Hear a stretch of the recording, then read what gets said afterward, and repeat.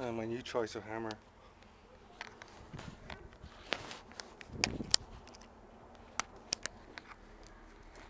Easily done. Voila.